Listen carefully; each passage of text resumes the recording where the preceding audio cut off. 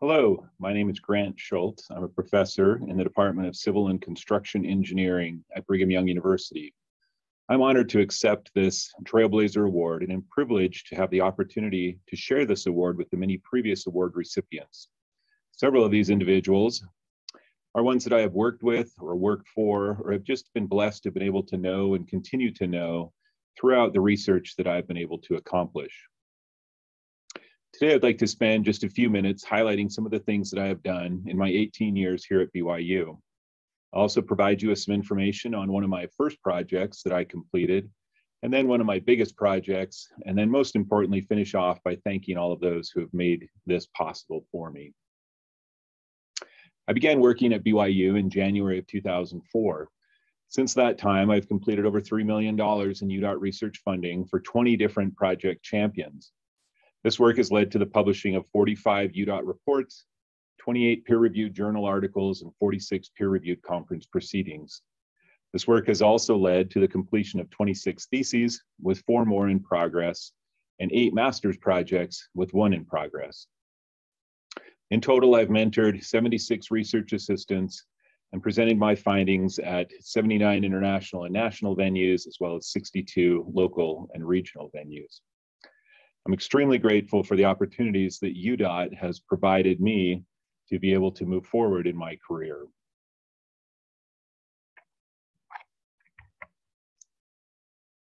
Some of the very first projects that I completed were done in 2006. And these included a variety of topics, including the economic impacts of transportation, and evaluation of the advanced warning signals along Bangerter Highway, assessing the safety benefits of access management, and evaluating weigh in motion data in Utah. I don't have time to talk about all of these projects, but I would like to spend a couple of minutes talking about the evaluation of effectiveness of blank out overhead dynamic advanced warning signal systems, or BODAS. The purpose of this research was to evaluate both the dilemma zone and the decision zone. This was accomplished by looking at different design assumptions and signal timing, as well as options for advanced detection and advanced warning. In our literature review, we identified several different methods for advanced warning signs. These included primarily sign-mounted dynamic signs with flashers. But UDOT wanted to do something more, so we looked at blank out overhead dynamic signs with flashers. The study site that we did our analysis on was the intersection of 134 South and Bangerter Highway. This research was conducted back in 2004 and 2005. As you can see from these pictures taken at that time, there have been a lot of changes to this area since the research was conducted. To analyze the speeds in advance of the signal at 134 South, we used Wavetronix digital wave radar technology. At the time, Wavetronix was still developing much of their radar technology. In fact, this project was used by Wavetronix for the development of their smart sensor advanced technology. We used the radar to collect speed data in seven zones in advance of the signal.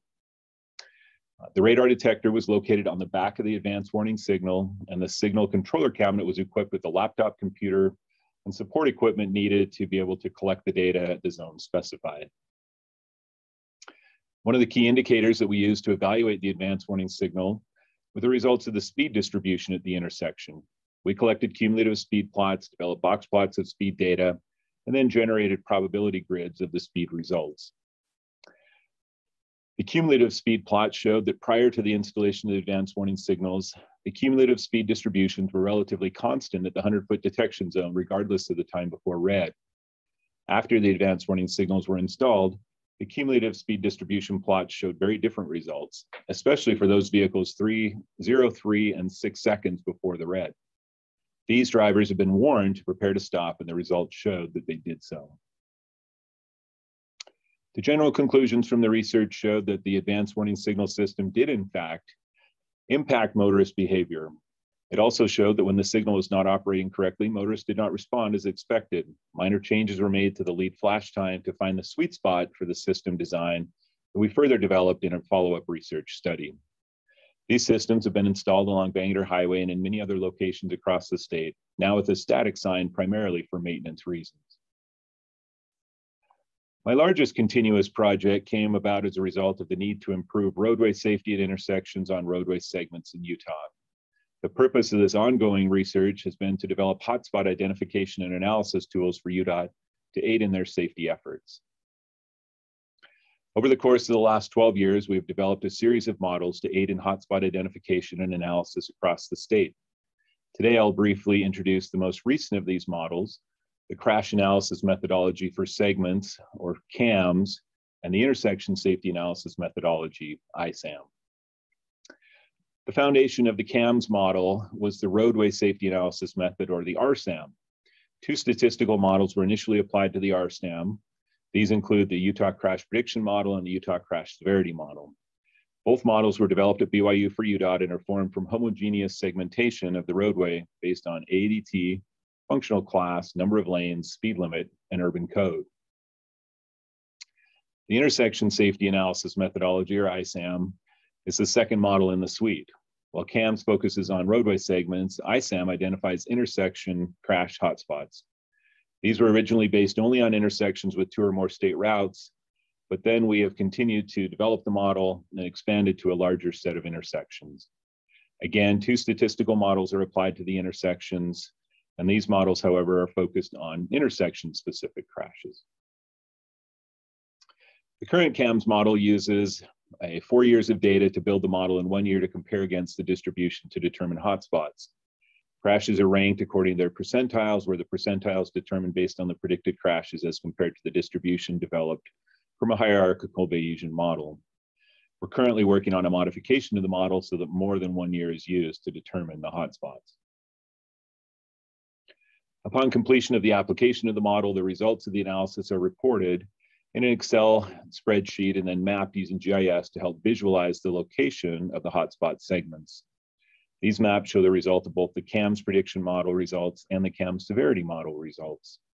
Note that if a segment shows up on both models, it means there are more crashes than predicted, and more of those are severe crashes than predicted. The last step in the process is the creation of segment safety analysis reports. These reports are also shared with the traffic and safety engineers to help them quickly evaluate the hotspots identified from the models. There are numerous other steps involved in the CAMS and ISAM models. However, I will not provide that information today. I will note that the CAMS provides UDOT with useful tools that identify segments of concern along state roadways. The ISAM is used to analyze state route intersections to identify intersections of concern in the network, and the two together provide a complementary analysis of the state route crash data. UDOT uses these findings to prioritize the use of their safety funds. I'd like to finish up by thanking the UDOT project champions that I've had the privilege of working with over the years.